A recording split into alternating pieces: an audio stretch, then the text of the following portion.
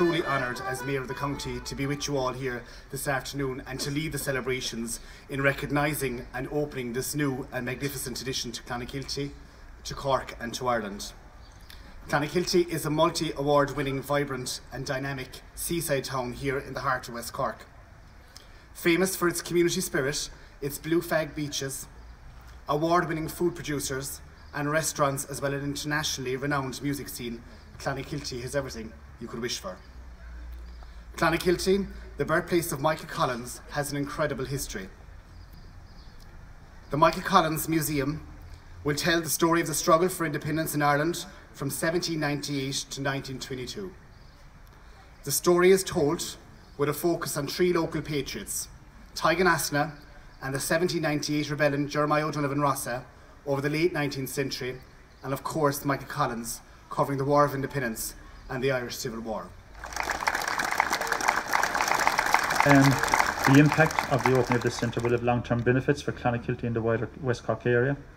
It'll bring a focus for continuing interest in promoting awareness of the life of Michael Collins and indeed the other local patriots who inspired him and the events leading up to the foundation of the state.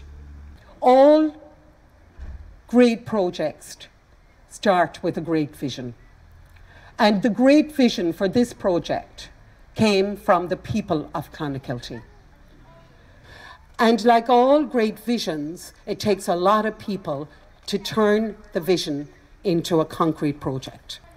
Cork County Council Architects Department, led by Sean McLaughlin, and his team of Julia Vallone, who's a great hand on the town of Clonakilty, architect on site, Gareth O'Callaghan, Vidar Media Limited, led by Simon Hill, Patrick O'Sullivan, and Daytona Contractors, and their foreman, Mike Deasy, who did an excellent job.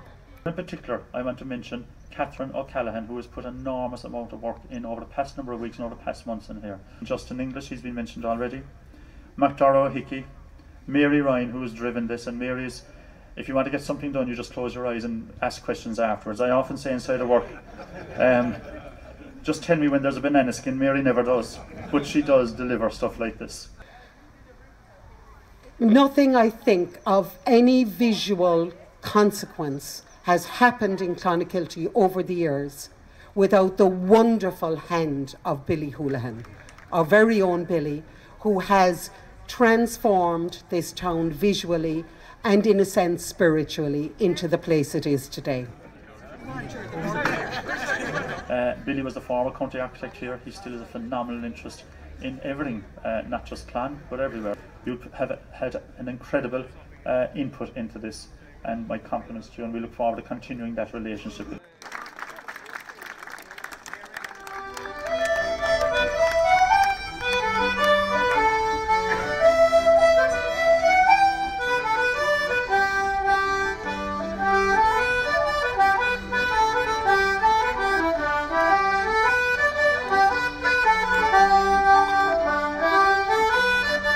Cork's role in the Rising cannot be underestimated. The Michael Collins House Museum portrays this history in a unique fashion. It transports the visitor to that time 100 years ago. It brings to life living at the turn of the century, the house as it was then. It transports us to the past. Living and breathing this experience is what makes our history real and relatable. We as a family, we've peeled off layers of Jeremiah O'Donovan Rossa and Mary Jane O'Donovan Rossa, and we have found a wealth of, of, of information and passion and patriotism that that has been so well kept in this in, in, in this museum today. I'm just floored by how well it has all come together and how much people care in Clonakilty. This is a living history. This is live. It's in colour. This is something that from, from a very young age you can bring primary school children in here, tourists in here, and they get a full story of the, the, the progress of the freedom of Ireland. We grew up, all of us kids, in that street over there, just down the road from Michael Collins' house. And I suppose it certainly Tadhg an Asna was definitely a hero in our primary school history books. We learnt very little about O'Donovan Rossa, and there was no mention at all of Michael Collins. For us, I suppose it was a kind of a, a strange silence in some ways, like a feeling that the dinner table had been laid for somebody and that somebody never came home. The, the the shadow of Michael Collins, in a sense, was was very much thrown over my father's life. His home was burnt down because of Michael Collins. His grandfather, his father, my grandfather, was um, um, imprisoned because of Michael Collins. So, and during my father's life. Um, he, he lived in that shadow, but without any real recognition of um, what was the greatness of Michael Collins. But Daddy was so determined then uh, to bring about that reconciliation, Civil War reconciliation in the centenary celebrations of Michael Collins. So that was the beginning of the emergence of Michael Collins out of the shadows. In a very short space of time, Michael Collins came out of the shadows, came out of the darkness. I don't think my father envisaged walking into Emmet Square and meeting a, a more than life size statue of Michael Collins, his granduncle, walking through the absolutely beautiful Emmet Square to this wonderful house called Michael Collins House. That I don't think he'd have imagined.